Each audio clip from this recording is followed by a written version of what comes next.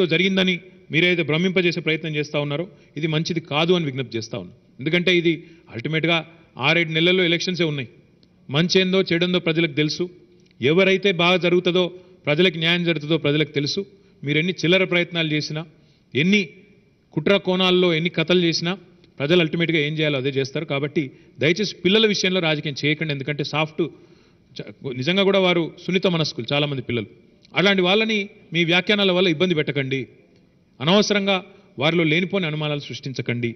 దయచేసి ఈ విషయంలో నేను విజ్ఞప్తి చేస్తా ఉన్నా. ఇక చర్చనే పెట్టాల్సి వస్తే ఎవరు న్యాయం చేస్తున్నారు ఎవరు అన్యాయం చేస్తున్నారంటే పెద్ద పుంకాను పుంకాలుగా మేము కూడా చెప్పొచ్చు. కేంద్రంలో పదహారు లక్షల ఉద్యోగాలు ఖాళీలు ఉన్నాయి. అవి నింపరు. ప్రభుత్వ రంగ సంస్థలన్నీ అమ్ముతారు. అక్కడ ఉండే ఎస్సీ ఎస్టీ బీసీ రిజర్వేషన్లు పోయేటట్టు చేస్తారు. వాళ్ళు వచ్చి మాకు ఇక్కడ నీతులు చెప్తారు. వాళ్ళు ఇంకా ని- నికృష్టంగా మాట్లాడుతూ ఉన్నారు. సంవత్సరానికి రెండు కోట్ల ఉద్యోగాలు ఇస్తామని స్వయంగా ప్రధానమంత్రి చెప్పిండు.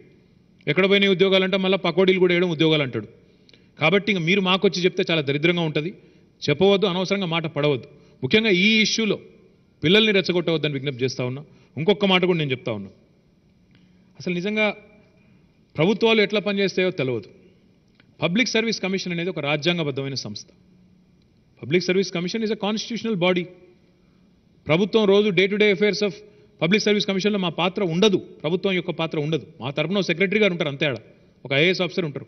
Otherwise it's an independent constitutional body ఒక ఆయన అంటాడు ఐటీ మినిస్టర్ని బర్తరఫ్ చేయాలా?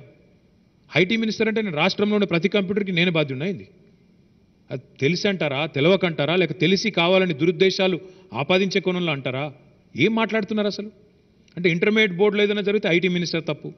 పబ్లిక్ సర్వీస్ కమిషన్లో ఏదో జరిగితే ఐటీ మినిస్టర్ తప్పు. ఐటీ అంటే ఏం చేస్తారో కనీసం తెలుసా వీళ్ళకి? ఐటీ మంత్రి అనే వాడి పనేంటో తెలుసా? ఎప్పుడైనా ప్రభుత్వంలో పనిచేసిన అనుభవం ఉందా? లేక తెలిసి కూడా కావాలని దురుద్దేశపూరితంగా మాట్లాడడమా?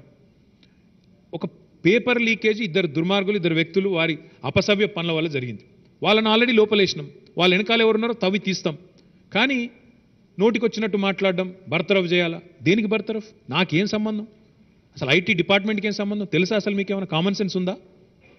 ఏది పడితే అది మాట్లాడమేనా మతి లేని మాటలు. నేను ఒక మాట్లాడుతాను అట్లంటే. గుజరాత్ రాష్ట్రంలో ఈ ఎనిమిదేళ్ళలో పదమూడు పేపర్ లీక్ అయినాయి. అక్కడ ఎవరైనా మంత్రిని బర్తరఫ్ చేసిండ్రా? ఎవరైనా మంత్రి రాజీనామా చేసిండా? మధ్యప్రదేశ్లో వ్యాపం కుంభకోణం అని చెప్పి ముఖ్యమంత్రి గారి మీద ఆరోపణలు వచ్చినాయి. ముఖ్యమంత్రి రాజీనామా చేసిండా? ఏమంటున్నా ఇప్పుడు కావాలంటే ఇక మొత్తం ఇస్తాను మీకు. ఇక పోలీస్ రిక్రూట్మెంట్ పేపర్ నిన్నగాక మొన్న అస్సాంలో లీక్ అయింది. ఎవరైనా మంత్రి రాజీనామా చేసిండా? ఏం మాట్లాడతారు నాకు అర్థం కాదు అసలు. ఎటు పడితే అటు మాట్లాడమేనా నోటికి వచ్చినట్టు వాగడమేనా? తొమ్మిదేళ్ళు పారదర్శకంగా నడిచిన సంస్థ ఇద్దరు దుర్మార్గుల పొరపాటు వల్ల తప్పు జరిగితే పిల్లల్ని రెచ్చగొట్టడం నోటికొచ్చినట్టు వాగడం ఇష్టం వచ్చినట్టు బాధ్యత రాహిత్యంగా మాట్లాడడం సబబా? దయచేసి నేను మిమ్మల్ని కూడా కొడతా ఉన్నా మీడియాను కూడా కొడతా ఉన్నా. ఏదేదో జరిగిపోయిందని ఇంకేదో అయిపోయిందని చిలువలు పలువలు చేసి చూపెట్టడం ఈ సమయంలో కరెక్ట్ కాదు. ఇష్టం వచ్చినట్టు ఊహాజనిత వార్తలు రాయడం కరెక్ట్ కాదు. తెలుసుకోండి వివరణ తీసుకోండి. మేమేమైనా తప్పు చెప్తే ఎస్ వీఆర్ రెడీ మేము తప్పు చెప్తే మేమేమైనా తప్పు సమాచారం మీకు ఇస్తే వీఆర్